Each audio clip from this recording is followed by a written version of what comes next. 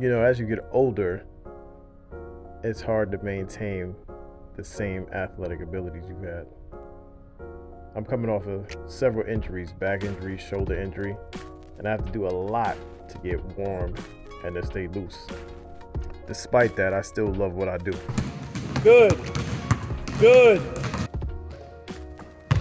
Step, lunge forward, swing, right? So you take it and put it as close Over to your right. Good. like that and stop. Or if you're good or you think you're good enough, here.